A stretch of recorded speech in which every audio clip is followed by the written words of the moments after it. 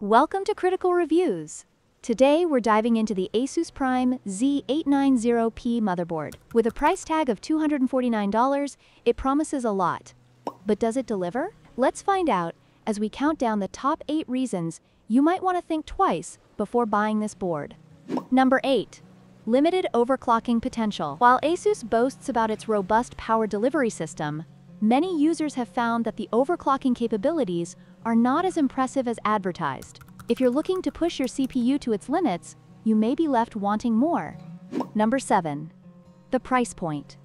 At $249, the Prime Z890P is on the higher end of the spectrum for motherboards that offer similar features. You might find better value elsewhere, especially if you don't need all the bells and whistles. Number 6. Complicated BIOS. Users have reported that the BIOS interface can be quite complex and not very user-friendly. If you're not tech-savvy, you might find yourself struggling to configure your settings properly. Number 5. Lack of USB ports. Despite having a Thunderbolt 4 port, the overall number of USB ports is somewhat lacking. This could be a deal breaker for those who rely on multiple peripherals. Number 4. Mediocre audio quality. The onboard audio quality has been described as average at best. If you're an audiophile or enjoy high-quality sound, you might want to invest in a dedicated sound card. Number 3. Limited documentation. The user manual leaves much to be desired. Many users have found it lacking in detail, which can lead to confusion during installation and setup.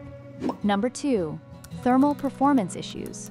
Although ASUS markets its thermal design as optimized, some users have reported overheating issues under load. This could be a concern for gamers and heavy users alike. And finally, number one, compatibility concerns. Some users have experienced compatibility issues with certain components, particularly with newer hardware. This can lead to frustrating troubleshooting experiences. So there you have it. 8 reasons to think twice about the Asus Prime Z890P motherboard. While it has its strengths, there are certainly some drawbacks to consider instead. Thanks for watching Critical Reviews, and don't forget to like and subscribe for more tech insights.